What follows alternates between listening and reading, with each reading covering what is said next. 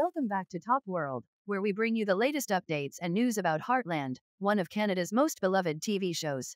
Today, we're going to discuss the characters we'll be saying goodbye to in season 17 and explore the impact it will have on the series. Let's dive in. First up, we have the heartbreaking departure of Tyler Ty Borden, played by Graham Wardle.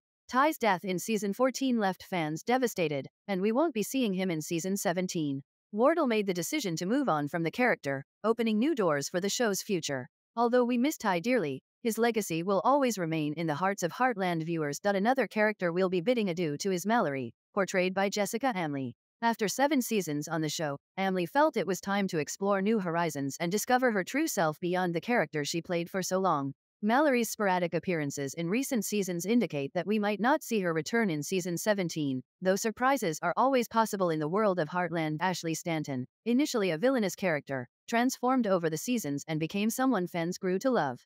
Her storyline with Amy and the growth of their friendship touched many hearts. However, Amy's storylines shifted, and her appearances became less frequent, suggesting that we may not see her return in season 17.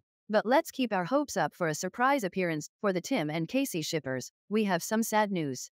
Casey McMurtry, played by actress Kerry James, won the hearts of viewers during her time on the show. However, Tim's difficult decision to break up with her and the subsequent reasons behind it indicated that their relationship might not have a future. We don't expect Casey to return in season 17, leaving fans with mixed emotions. Lastly, we remember the late actor Robert Cormier, who portrayed Finn Cotter in season 15.